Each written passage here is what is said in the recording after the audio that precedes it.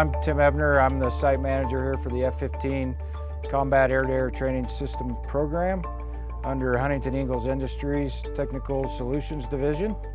We train all the F-15 pilots for the entire United States Air Force here at Kingsley Field in Oregon.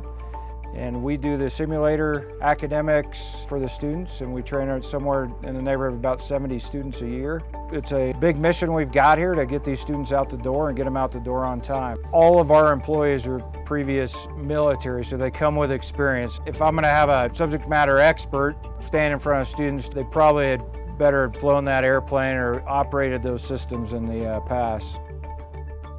I think we have a wonderful opportunity here teach the students where a lot of the tactics that we teach and the weapons where we came from. For the most part, you're gonna find that every one of us is very passionate about teaching. It's a great feeling to come to work in the morning and you're going to teach something that, a career that you had and you love doing, uh, that you get to carry on now and, and kind of pass that on to future generations that are now gonna pick up where you left off flying the F-15.